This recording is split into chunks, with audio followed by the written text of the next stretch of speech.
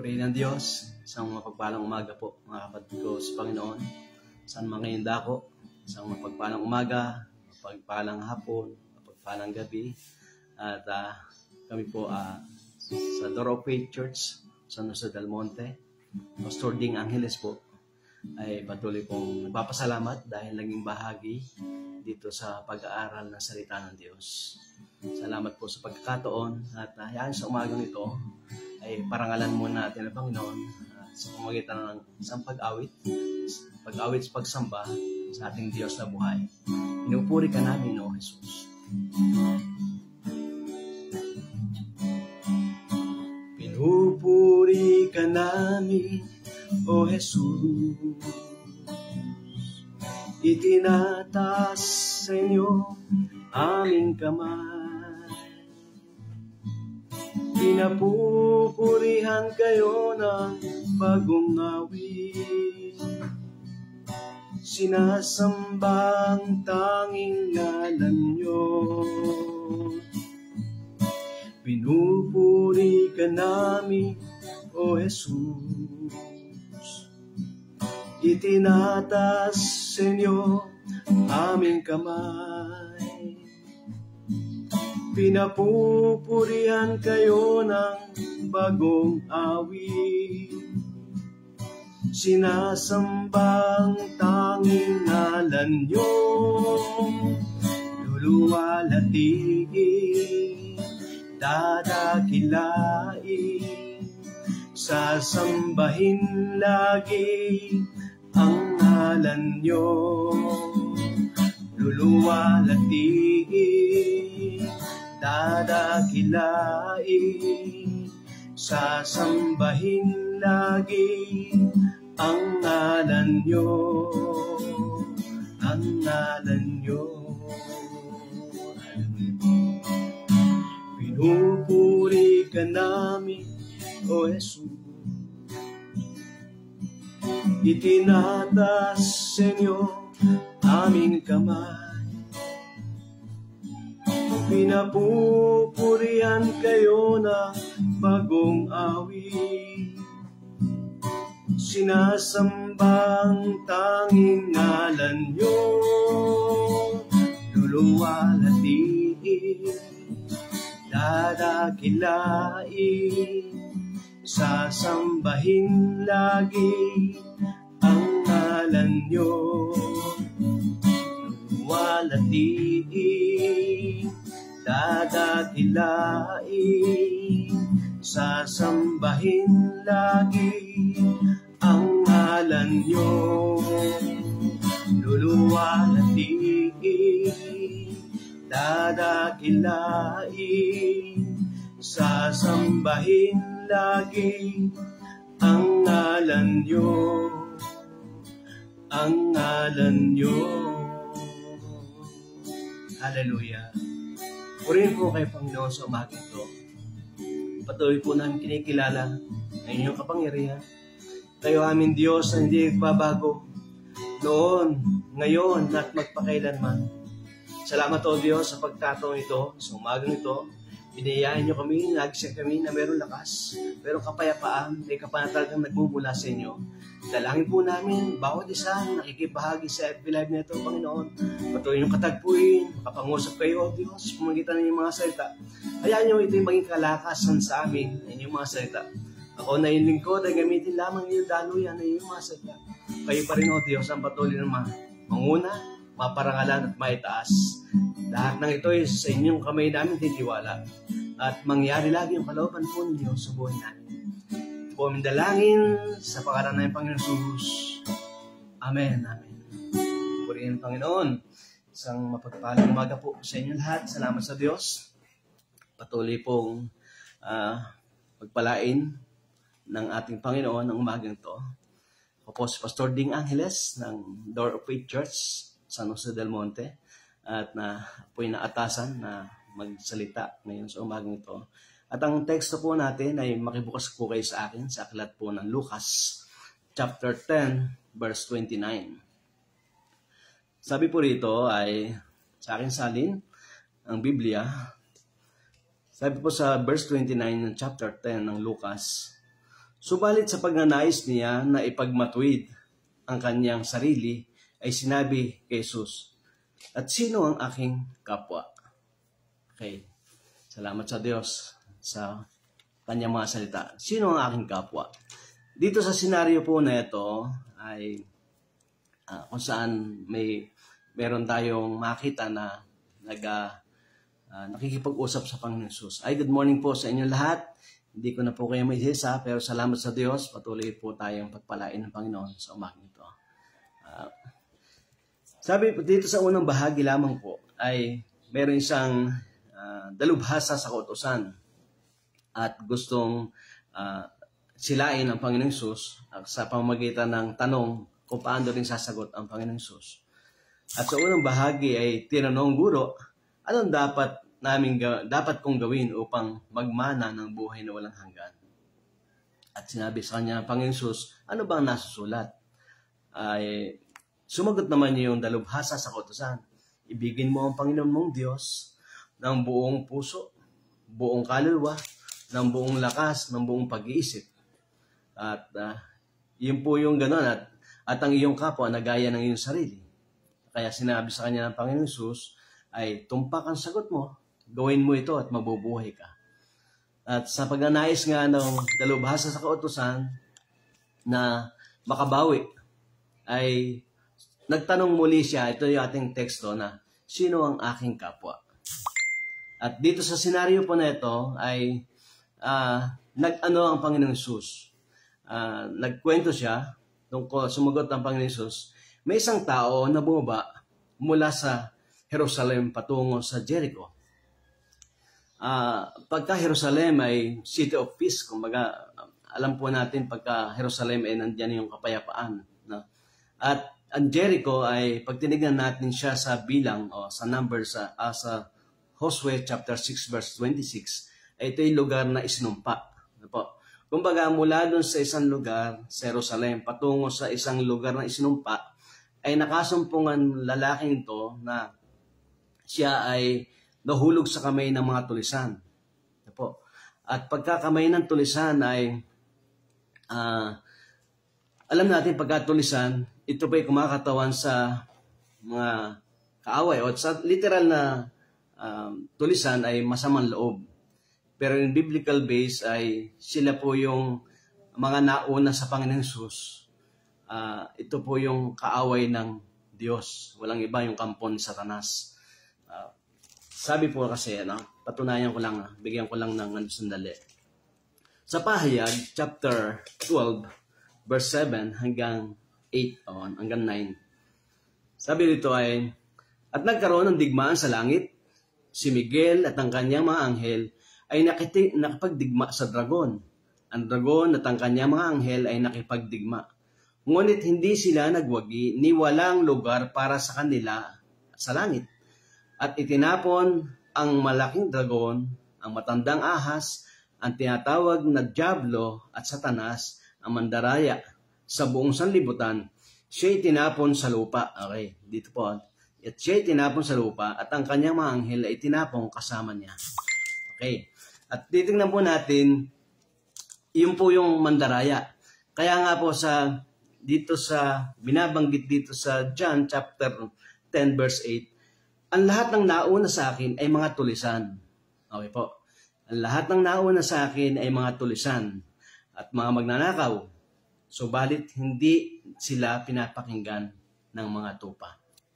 Okay, salamat sa Diyos. Dito po sa tagpo nito ay binabanggit na mula sa meron isang taong maglalakbay mula sa Jerusalem patungo sa Jericho at ito ay nasa lubong o nahulog sa kamay ng mga tulisan at ano yung ginawa sa kanya? Siya hinubaran. Nama ito, binugbog, pagkatapos ay umalis at iniwan siyang halos patay na. Uh, pagka hinubaran ay talagang, di ba, pangkaraniwan, sa literal na hinuhubaran ay uh, walang saplot, walang walang gamit, walang panangga at posible ito ay magkasakit. At totoo hinubaran na inalisan tayo ng kabanalan sa spiritually speaking. At uh, inalisan tayo ng proteksyon. Kaya po maraming mahina yung ating lupang katawan. At salamat sa Diyos tayo ay kinatagpo ng Panginoon. Binugbog na talagang ang dulot nito ay pagkakasakit. Kaya po napakaraming tao ang uh, may sakit, lalo yung wala sa Panginoon. Kaya nga po nakakatuwa, may mga taong lumalapit sa Diyos dahil, minsan dahil may sakit. Kaya naalala ko yung aming tagapanguna, si Pastor Ramones, yung sakit eh, pampabait yan. Lagi ko po narinig nung araw na siya nabubuhay pa. At totoo naman, maraming kaya lang nalapit dahil nakakasakit po. Pero totoo po ay yung isang bagay na uh, kalagayan na yon dahil sa kaawa yon. Dahil una, wala tayo sa Panginoon at uh, iyon po ay naranasan ng isang taong naglalakbay na yon mula sa Jerusalem patungo sa Jericho at uh, nasa lumuhan na na nadalung siya ng tulisan dahil doon siya ay hinubaran, binugbog at iniwan halos patay na. At kung titingnan natin, halos uh, sino ba tao na yon? Ano po?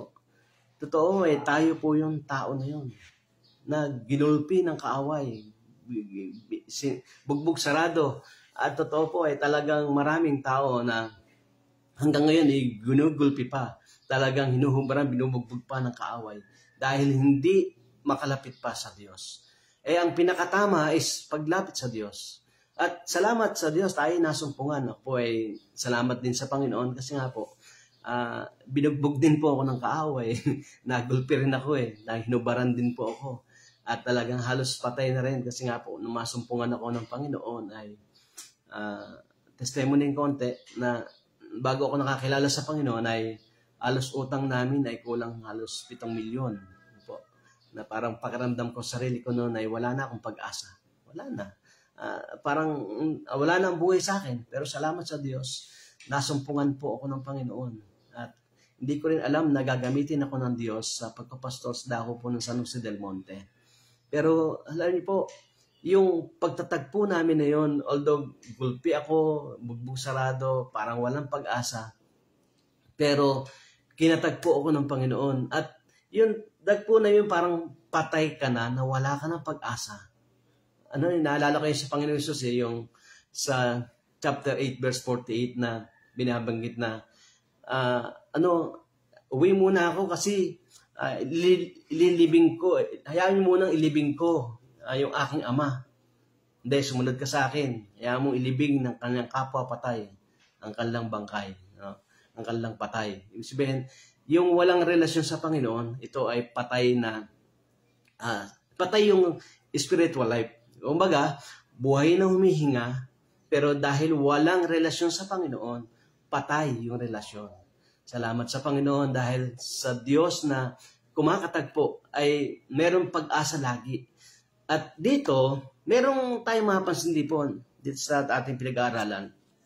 Meron po tayong mapansin dito at dito ay nagkaroon, uh, nagkataon na bumaba sa daang iyon ang isang pari. Nang kanyang makita ito, siya ay dumaan sa kabilang panig. May dumaan naman eh, may nakakita naman dito sa parang uh, isang binugbog ng tulisan na ito, eh, na iniwan na halos patay na. At dahil doon ay iniwasan lang, hindi ito kinalinga. At pangalawa, meron din ano yung unang bahagi? Yun ay isang pari. At ang kanyang makita ito ay siya'y dumaan sa kabilang panig. Sumunod din, dahil totoo, meron po kasi pagkakataon na pwedeng uh, pag kumilos ka, pwedeng ikay magastusan pa. Kasi uh, hindi ka magkakapera. At para sa takot sugunto na hindi na siya magastusan dahil hindi pa siya magkakapera, iwas na lang. Ganon din isang Levita. Sabi nito, no? Gayun din sa 32, meron din isang Levita na dumating siya sa lugar na yon at nang makita yung taong yon, siya ay dumaan sa kabilang panig. Yan po. At yung Levita, ito yung mga klase po ng uh, mga uh, religious group uh, sa lahat ng klase ng denomination ay pwede kasing pag hindi ka kapatiran ay hindi ka kakalingain. At posible, yun din na pinakikita dito na hindi rin sila ganun, wala din sila concern doon sa taong uh, nakatagpo nito, naka, yung na-encounter ang tulisan. At ang ginawa din naman ay ano, ay lumihis din. Nakita ang taong yun, siya ay dumaan sa kabilang panig. Okay.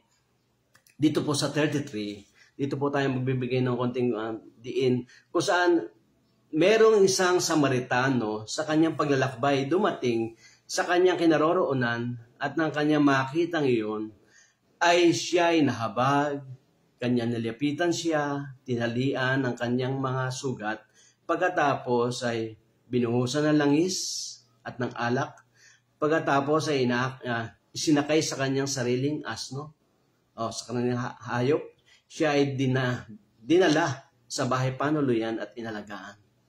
Hallelujah. At dito sa uh, Samaritano, binabanggit na sino ba itong ano to? Uh, lahat ng uh, dito sa Samaritano ay binabanggit na sino ba yung Samaritano na yun?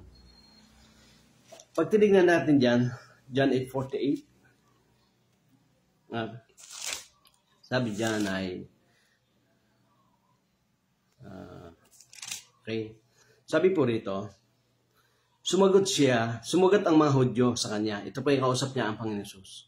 Sumagot ang mga Hudyo sa kanya, Hindi ba tama ang aming sinabi na ikaw ay isang Samaritano at mayroong kang demonyo? Isang, ang Panginoon Jesus ay binabanggit na isang Samaritano. At kung hindi naman niya sinabing hindi ako Samaritano, eh, at sinasabi lang niya ay, hindi niya sinabing, hindi nga ako yon. Sumagot sa at ang inyong sinisira ang aking karangalan. Dito sinabihan siya na isang Samaritano at mayroon siyang inaalihan siya ng demonyo. Ang sinasabi lang niya, hindi ako inaalihan demonyo at hindi niya sinabing hindi ako Samaritano. No? Kaya tinuturing ko na ang sa Diyos, kaya naputol po yung internet. Dito sa tagpo na ito, ay meron tayong makita. Ano yung, ano yung ginawa niya? Siya ay uh, tinalian. Tinalian ng kanyang sugat, yung kanyang pagkakabugbog. At uh, ano pa yung ginawa? Tinalian ang kanyang masugat, pagkatapos ay binuhusan ng langis at alak. Tinalian, pinagaling, nilagyan, binigyan ng first aid. Ano po? Salamat sa Diyos. At dito ay binuhusan din ng oil na kumakatawan. Kumbaga kung sa atin, ah, sabi ko sa inyo, sino ba itong tao na ito? Ay tayo po yun eh. Na ginulpi tayo ng kaway. Ngayon, nung masampungan natin ang Panginoong Sus, ano yung una nating naramdaman? Di ba yung ating mga sakit, yung ating mga karamdaman ay pinagaling niya? Amen? Tapos ay sinangkapan pa tayo ng banal na Espiritu nung tinanggap natin ang Panginoon bilang Panginoon at sariling tagapagligtas. Ang banal na Espiritu sa atin, ito yung binuhusan niya tayo ng oil ng Holy Spirit at isinakay sa asno na sa pamagitan din ng kanyang mga salita ay uh, sa kanya mabuting balita, ito ay naunawaan natin. Totoo, ako man po, eh, hindi ko naintindihan dati ito. Eh. Pero salamat sa Diyos, naintindihan ko yung, ngayon yung salita niya dahil una-una, dati hindi po ako nagbabasa. Pero ngayon ay nagbabasa na. Salamat sa Panginoon. At kung paano ay dinala sa panuluyan. Saan ba'y panuluyan na yon, mga kapatid? Ito po yung church na kung saan nandun po tayo ngayon. Una, tinalian, uh, binuhusan ng oil, at sinangkapan tayo ng banal espiritu at sinakay sa asnos pumagitan ng kanyang mga salita, eh dinala tayo sa bahay panuluyan, dinala tayo sa church Nasa may merong nag-aalaga doon. Walang iba yung mga pastor. Pastor na kung saan nagtitiyaga sa atin. Salamat sa Diyos. Merong nag, nagtitiyaga kahit paano ay merong nakakaunaw at merong kumakalinga. At ganun din ay may nag-aalaga na di ba lahat naman po ay inaalagaan. Ang, basta pastor, tunay na pastor mga kapatid, ito po ay aalagaan talaga. Yung mga kamang, yung mga nandyan na kung saan ipinagkatiwala ng Diyos, nandyan sa church. Kumbaga, bilang uh, pastol, meron tayo ng dakilang pastol, walang iba kundi ang Panginoon Jesus.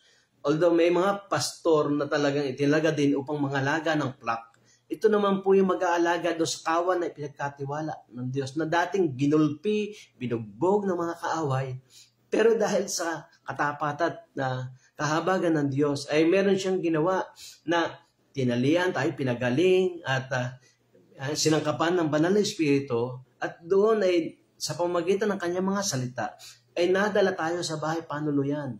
Kasi hindi ko rin po alam dati.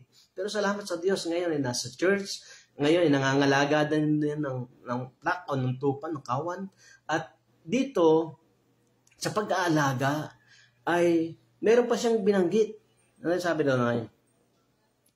At kanya nilipitan, tinalian ang kanyang mga sugat, pagkatapos ay binuhusan ng langis, pagkatapos ay sinakay sa kanyang sariling hayop, siya'y dinala sa bahay panulat inalagaan. Na sumunod na araw, dumukot ang may siya Dumukas siya ng dalawang denaryo at ibinigay sa may-ari ng bahay panuluyan. At sinabi, sinabi niya, alagaan mo siya. At ang anumang uh, karagdagan mo pang gastusin ay babayaran kita sa aking pagbabalik. Salamat sa Panginoon. Merong nag-alaga, tapos ay talagang may garantya. Ano ba yung dalawang denaryo? Dumukot siya ng dalawang denaryo. Dalawang denaryo na kumakatawan sa at ang Biblia. The Old and New Testament. Dalawang dinaryo. Old and New Testament na sufisyente na ito para makatustos sa pagpapagaling ng may karamdaman. At kung yun po ay masumpungan natin, bakit marami hindi pa napapagaling? Kasi hindi po nagbabasa. yun po yung nakanulungkot na hindi po nagbabasa. Pero kung tayo papatuloy, yung pantustos na yan, Makakasupisyente po ito upang mapagtagumpayan natin ang lahat. Salamat sa Diyos. Na dito ay tayo ay tinuturuan at nakita ko sa buhay po namin, makakasumobra, na ang maglingkod sa Panginoon kung paano kami ay kinatagpo at uh, pinagaling at uh, kung saan ay inalagaan din naman ng aking head pastor, salamat sa Diyos, ay ngayon ay ginagamit na rin ng Diyos sa sa isang sa dako ng San Jose del Monte at nag-aalaga na rin po ng tupa. Ngayon, isang napatunayan ko sa buhay po namin paglilingkod, walang kalugihan ang maglingkod sa Panginoon. Walang kalugihan. Kaya napakabuti na tayo nasumpungan ng Panginoon. Praise the Lord.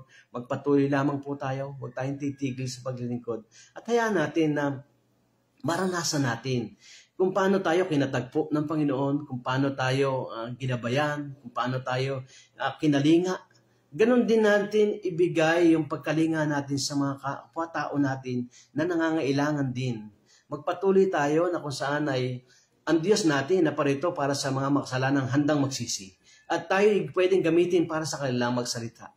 At sa ating gagawin na yon, isang tiyak, wala pong kalugihan ang maglingkod sa Panginoon. Magpatuloy lamang tayo at kung saan tayo inilagay uh, na church, meron pong mag-aalaga doon magpapatuloy lamang po tayo, pa-mentor, magpaalaga. At ayan nyo, isang tiyak doon, meron pong mag-aalaga doon. Walang iba kung yung pastor na kung saan nandun po tayo. Isang tunay na pastor, mag-aalaga at kakalinga sa lahat ng pangangailangan ng tupa na ipinagkatiwala ng Diyos. Tulungan tayo ng Panginoon at mahal, hayaan natin mga kapatid, sa buhay natin ito, na kung tayo ay uh, kinatagpo, ng Panginoon kung paano dati ay, sabi ko nga sa inyo, tayo parang patay dati. Pag tinignan na natin yan, ha? Kasi talagang dati, dating patay eh. Ano sabi? Sa Ephesians chapter 2, verse 1. Kayo noon ay mga patay sa inyong mga pagsalangsan at mga kasalanan na dati ninyo nilikaran yon lakad ng salibutan. Dati tayo patay, kasi ang lakad nga natin sa libutan. Eh ngayon naman, eh, uh, kinatagpo na tayo ng Panginoon. Kaya pwede natin gawin, magpatuloy tayo mga kapatid sa takbo na kung saan ay ang Diyos yung mapaparangalan natin at maitataas. Kasi nga po, bilang anak ng Diyos, dapat ay makita, marami totoo ay nagsasabing sila anak ng Diyos. Totoo po yun. Napakarami nagsasabi na sila lingkod ng Diyos. Sila, sabi nga ng iba nakaus po, na, nagdadasal din naman sila. Pero ito, isang katinayan din naman na hindi makita ito sa kanilang gawa. Hindi ito mapatunayan sa kanilang mga kilos na talagang sila nga ay kinatagpo ng Panginoon. Na talagang sila nga ay anak ng Diyos.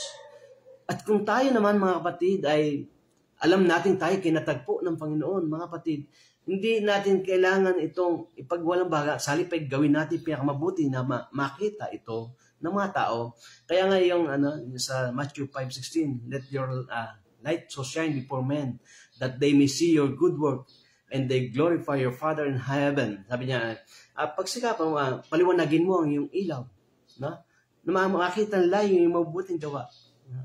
Dahil sa ganun sa iyong mabubuting gawa, mapaparangalan ng iyong amang nasa langit. Salamat sa Diyos. Dahil meron tayong uh, pagkakataon na makagawa ng pinakamabuti. Totoo ay minsan lamang tayo lalakad sa dako na ito. Hindi na tayo maulit. At yung ating paglakad sa dako na ito ay uh, ito yung magdidikta sa atin saan ba talaga tayo patungo mga kapatid. Marami ang gusto ng langit. Pero hindi ito makita sa buhay nila, yung lakad nila ay hindi papuntang langit. At kung tayo, mga kapatid, eh, binabag, sinasabing tayo anak ng Diyos, tayo kinatagpo, lingkod ng Diyos, sumusunod sa Diyos, makita ito dapat sa ating mga gawa at mapatanayan to sa ating mga kilos. Magpa, magpatuloy tayo mga kapatid sa lahat ng ating gagawin, eh ang Diyos lamang yung ating naitataas. Merong tunay na kapwa-tao at kung paano tayo kinatagpo ng Panginoong Sus, Although siya, siya binabanggit na Samaritano. Pero siya mayroong mabuting kalooban na siya yung nag, uh, ano, nagbigay paano tayo tinalian, pinagaling, binuhusan, sinangkapan ng banal na espiritu at kung saan nandun tayo ngayon, apat dinuulit ko lang, nandun tayo sa bahay panuluyan na meron nag-aalaga ay magpatuloy lamang tayo. Huwag tayong titigil. Huwag tayo, huwag natin susuwagan yung ating mga tapag-alaga mahal natin sila. Kasi nga po, tinalagay ng Diyos para tayo alagaan. At sufisyente yung dalawang denaryo para iyon ay maitaw, maitawid tayo hanggang sa buhay na walang hanggan. Salamat sa Panginoon. Magpatuloy lamang tayo at wag natin tit- wag tayong titigil sa lahat ng ito. Although di lahat tayo may trial na pagdadaanan. Pero kung tayo papatuloy sa paglilingkod sa Panginoon, lahat ng yan ay mapagtatagumpayan natin kung ipagkakatiwala natin lagi sa Panginoon. Huwag natin pasanin yung mga hindi natin kayang pasanin. Ilagak natin sa Panginoon. Cast all your care. Sabi nga ng Panginoon, sabi ni Peter, no, na kung saan ay siya ay nagmamalasakit sa atin. Kaya nga ilagak natin yung ating mga kabalisahan na yan sa lahat ng pagkakataon upang ang Diyos naman ay kumatagpo sa atin, magkaroon tayo ng kapahingahan. Kaya nga po, uh, kung tayo napapagod, ang sabi niya Matthew 11:20, hali kayo. Kayong lahat napapagal at nabibigat ang lupa. Di ba? Napaka, ano, ito invitasyon at ito utos. Napapagod ka? Lapit sa Panginoon. Huwag mang hinawa.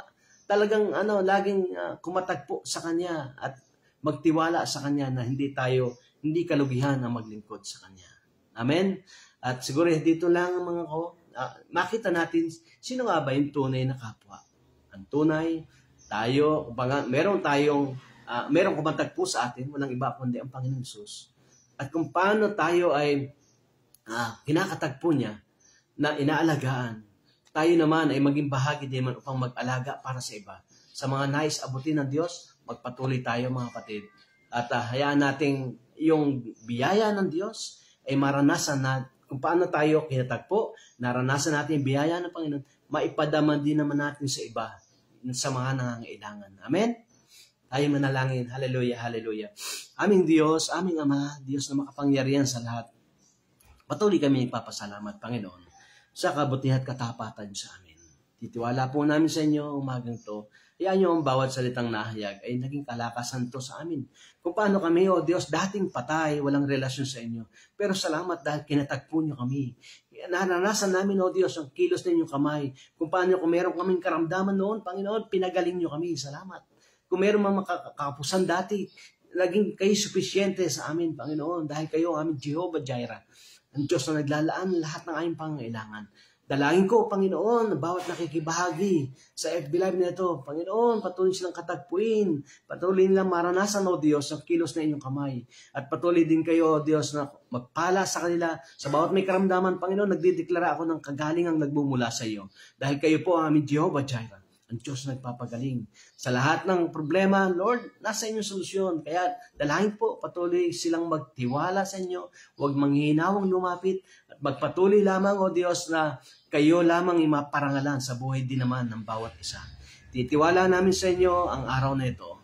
Hayaan nyo nga, laging kalooban nyo mangyari sa buhay namin at hayaan makapagpatuloy kami, O Diyos, sa paglilingkod na walang pag-aalilangan at kayo lamang imaparangalan sa buhay na pinagkakatiwalaan sa amin sa bawat umaga na kami nagigising, Lord. Hayaan nyo nga laging nasa ng puso namin maparangalan yung dakilang pangalan. At kayo lamang, O Diyos, ang maitaas sa buhay namin ito. Huwag masayang yung bawat panahon na ipinagkakatiwalaan sa amin.